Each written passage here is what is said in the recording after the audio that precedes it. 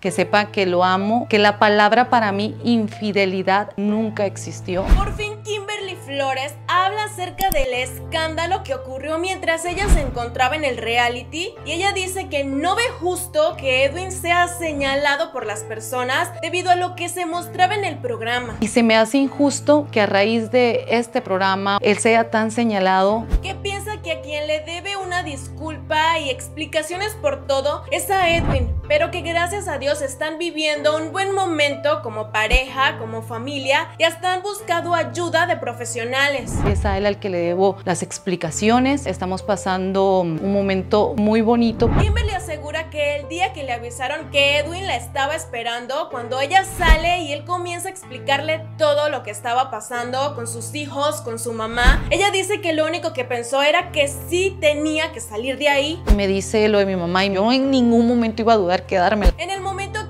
sale del lugar y que por fin le entregan su teléfono, obviamente que lo primero que hizo fue ver todas las cosas que estaban hablando sobre ella y se percata de todo lo que están diciendo. Fue algo que la asombró muchísimo al ver tantas cosas que se decían. Cuando ya salgo y me entregan el teléfono, fue como una bomba al ver tantos ataques. Otra de las cosas que Kimberly ofreció fue una disculpa a los medios por la actitud que ellos tuvieron en ese momento, pero esta sería la primera vez que ellos actúan así, ya que siempre los han atendido y han permitido que ellos los entrevisten. También queremos ofrecerle una disculpa a los medios. De hecho, la reportera la conocemos desde hace mucho tiempo. Pero ella dice que de verdad en ese momento su prioridad eran sus hijos y no una entrevista. Kimberly se tomó un tiempo para hablar de todas las cosas que en realidad pasaron luego de tener un tiempo en familia y conversar con todos, explicarles todo lo que pasó, pues ella se imaginó que ya era tiempo de aclarar las cosas con sus seguidores, con los medios y demás personas que aún siguen señalándola y siguen hablando sobre Edwin. Ella comenta que su participación en el reality fue algo manejada, quizás cambiada para hacerle creer al público